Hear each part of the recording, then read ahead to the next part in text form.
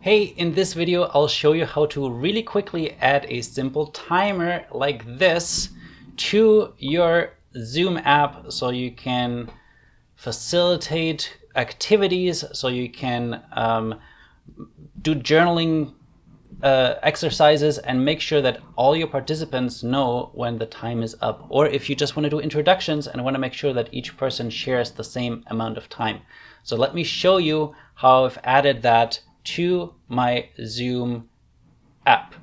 Um, first, you want to go to the Zoom website because the way we're going to use this timer is through the Zoom apps that just have been released on July 21st, 2021. So this is today, this morning, still brand new.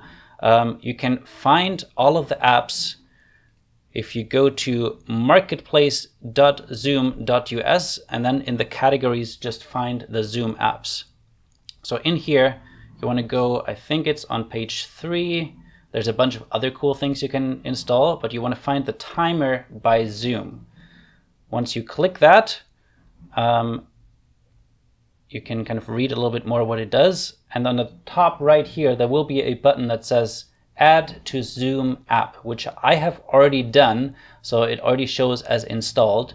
Uh, once you click that button, it will take you to a separate page where you have to authorize some in, um, some permissions. So these permissions actually uh, will be something you need to authorize. You need to be logged in to your Zoom account on the website, the same one that you're going to use in your app. And then it will prompt you to go back to, whoops, the app. And this is where you will find this new button at the bottom of your app. Uh, this is what it looks like. It just shows apps.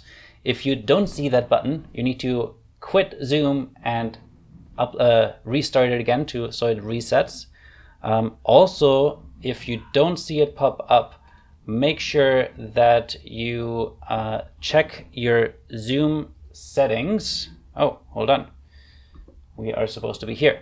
Check your Zoom settings where in the uh, top bar there's a new tab that says Zoom Apps and make sure you have this Zoom Apps Quick Launch button enabled. This will make sure that you see it.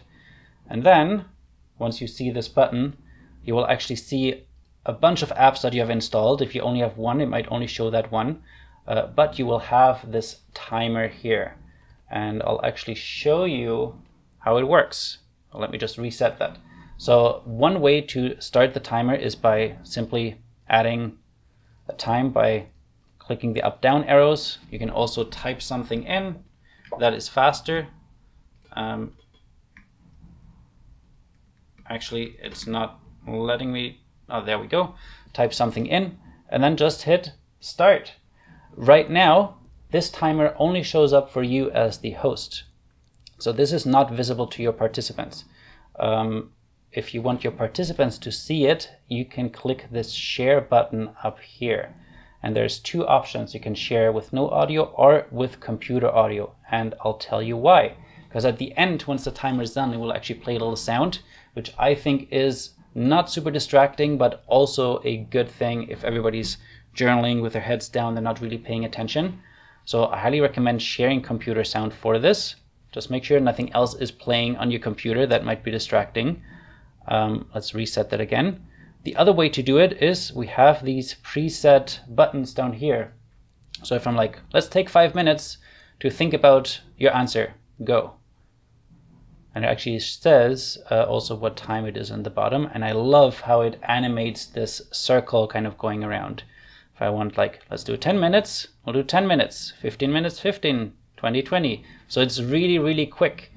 Um, the cool thing, two cool things. One is if you just want to use that timer for yourself, but you feel like it's taking up too much space, you could come up here and click pop out. And now you can actually move this window around and maybe make it a lot smaller. I know it doesn't look so great, great like this, um, but maybe something like this would work or something like this would work. And then I can just stick that somewhere in the corner here. right? So it's not, not taking up so much space.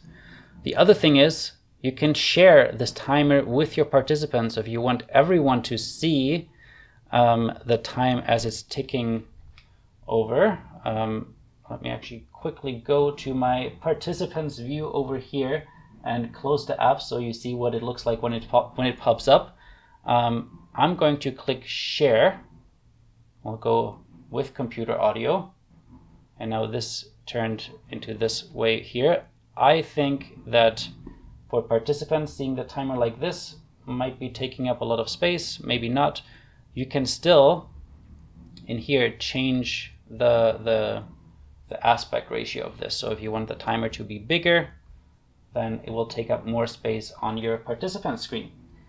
And that's basically how you add a timer really, really quickly. And then you can stop sharing. Um, let's reset Let's actually put 10 seconds on the clock, uh, which is going to be the end of this video, but that way you can hear the timer and the sound it makes. So if you appreciate this video, I've created a bunch more about the Zoom apps, the new feature that has come out today. Make sure to check those out, and I hope to see you on my channel very soon.